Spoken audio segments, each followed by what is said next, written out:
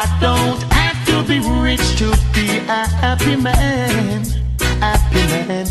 Money can't buy you and I salvation. Yeah, yeah.